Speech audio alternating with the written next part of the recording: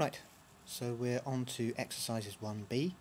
Um, if you've been through these yourself um, using the uh, uh, exercise 1b sheet that's online, you'll know already that this is not the most thrilling of um, exercises, but it is one that covers some critical issues which you're going to need to know in order to be able to use Max effectively, or indeed at all.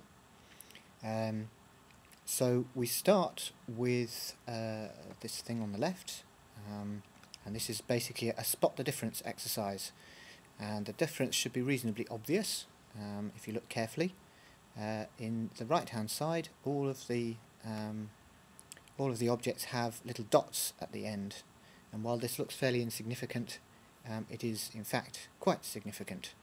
Um, certainly it has uh, implications which you need to be um, aware of. Basically the difference uh, that this signifies um, is difference between the way numbers are represented and calculated in Max MSP.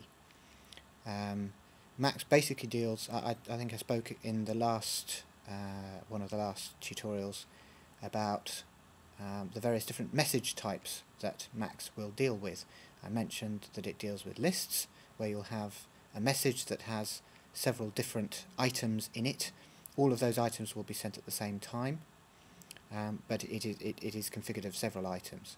I also mentioned the bang message, which is this kind of trigger do it message, if you like, uh, do whatever it is you do message that's sent to an object, and that basically makes it do uh, whatever it is that that object does.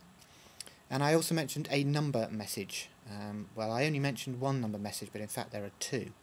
Um, and those two are integer and float.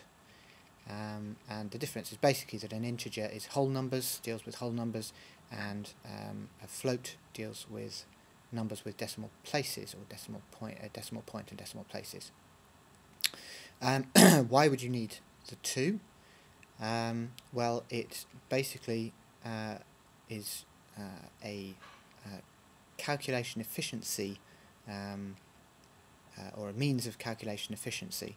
Uh, integers are a lot less CPU intensive to calculate and require a lot less memory to store than do floats. Um, if you look down on the right hand side here, which I've just uh, kind of popped in hopefully for, for demonstration purposes, um, all numbers uh, in, uh, in computers require a certain amount of memory in order to store them. So um, if you're dealing with um, just two numbers, 0 and 1, then they only require one bit to store them. It's one switch. You have um, uh, it in one state, which is off, and you have it in another state, which is on. So you just have these two states, and therefore you only need one bit of information, as you can see down here in the binary um, uh, to store that. if I go to number 2, then we actually need two bits of information to store it. Um, if you're familiar with how binary works, then uh, you'll you'll know that each um, uh, each number requires a certain number of binary digits. It's it's based on switches. Um, that's probably not very well explained, but if I if I carry on demonstrating this, hopefully it'll become clear. Um, so two requires uh, one and zero. So one of the uh, two uh, digits and zero of the one digits. I go up to 3 and it requires um, 1 and 1, so still 2 bits in order to store that number.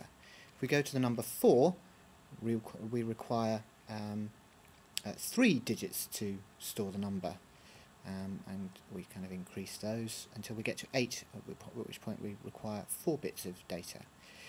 And that continues, and gradually we, we the number of bits that we require, sorry I haven't made that big enough, uh, to store the number increases. Once you get to um, 8 bits in order to store the number, you can accommodate a number as large as 256. Um, well, 256 numbers. That The numbers will be 0 to 255. Um, so that's fine, um, but that only deals with whole numbers, and you need, as I say, uh, 8 bits of um, memory, if you like, to store that number. And again, as numbers get bigger, you need more and more bits. What happens when you need to store a float? Well, you need to do exactly the same, but to the right-hand side of the decimal point, if you like. You need to uh, you need extra bits of information in order to accommodate the um, uh, the various uh, uh, small elements of the number, if you like, or the decimal um, uh, aspects of the of of the number. Um, so you need more memory basically for a, for a, for to store decimal numbers than you do um, integers. Although of course that depends on the size of the integer number that you want to store. Um, anyway, uh, a lot of the time, if we go back to this one here, a lot of the time you only need to deal with integers, particularly if you're dealing with MIDI. Um, so uh, you will only need to use um, whole numbers. Uh, but then, you know, and, and therefore uh, you can, you don't need as much memory to store them or indeed CPU processing power to calculate them or process them. Um,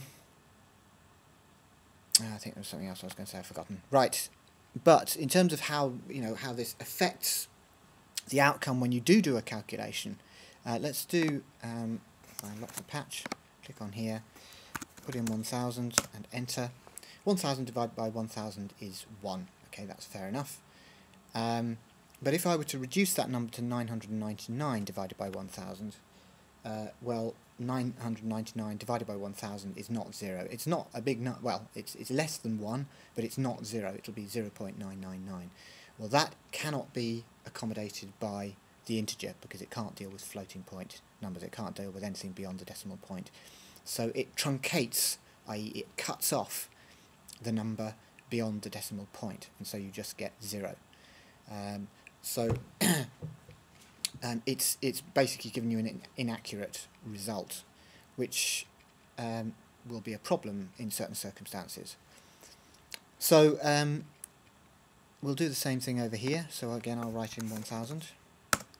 1000 divided by 1000 is 1. But now if we go down to 999 or 998, um, we get the decimal place.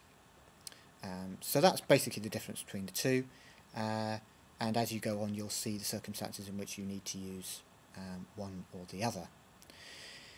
Um, just to point out also that uh, a couple of things actually. First thing is that the uh, where where the truncation occurs depends on where you lose the decimal point. So if I lose the decimal point from this number here, uh, sorry, no, this object here, um, then this object can no longer deal with floating point. So if I change the number again, um, then uh, although this is a floating point object, i.e. it's got the dot after it, it can't, it, it don't, doesn't know any longer that there's anything more than um, that because it's been truncated at this stage. So I hope that's clear. Um, so basically, any calculations you want to do which require floating point need to have um, the point at every stage. Um, so if, if it's the case of one of these graphical objects, it needs to be a floating point number box, and maybe I should just make it clear what that is. Okay, so in, in the palette, you have an integer number box and a floating point, so the floating point is the one you'd want. Um, and uh, in uh, the object, uh, any calculation object needs to have a point after the number in order to uh, designate it as being a floating point uh, calculation that's required on it. Um, and that's the case also if um, you want to, uh, even if you don't know what your argument is going to be. Um, so, uh, let's see. Um, actually, I haven't explained a couple of other things in here yet, so I'll do that quickly. Uh, if we were to use addition, so I'll make an addition box um, and I'm not going to put in an argument I'm just going to leave it as that. Just make this a bit bigger. Um, and I'll use two floating point uh, inputs and a floating point output